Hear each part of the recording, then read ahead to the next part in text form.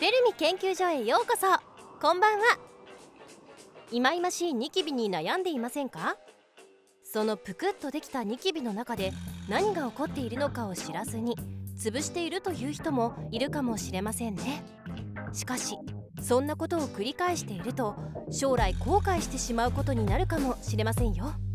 今回はニキビがどうできるのかそして治すにはどうすればいいのかを解き明かしていきましょう。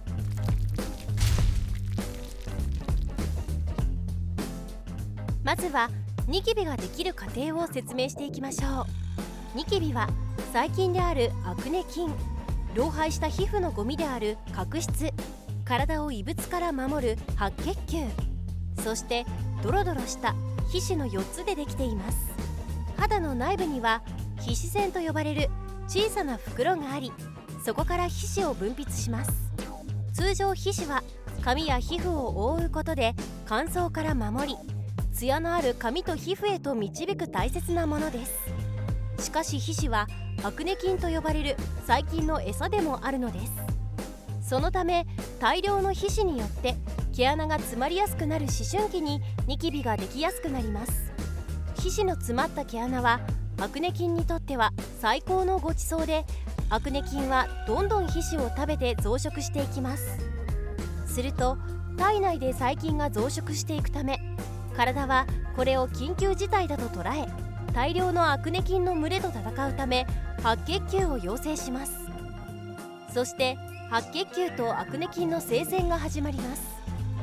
この戦いによって肌の表面が炎症し腫れ始めます。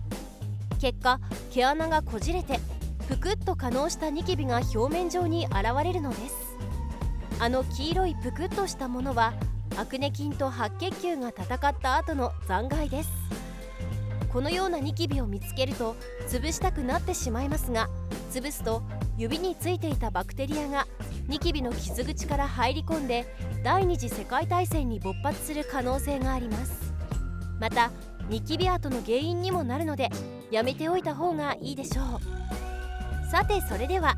ニキビを治すためにはどうすればいいのかですが説明した通り洗顔でアクネ菌の餌である。皮脂をきれいに洗い流すことが大切です。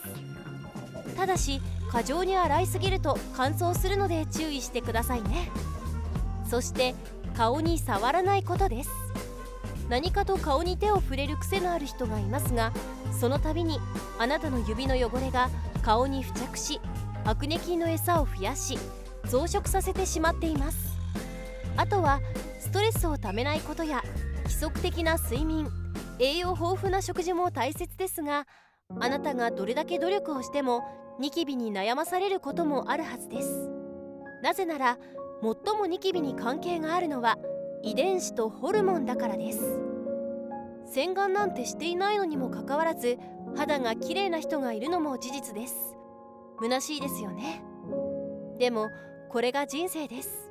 どれだけ一生懸命洗顔をしてもニキビができることもあるでしょうその度に涙で枕を濡らし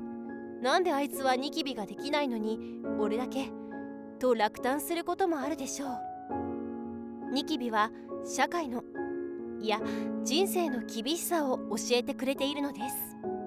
多少のニキビがあっても負けずに勇気を持って行動し続けてください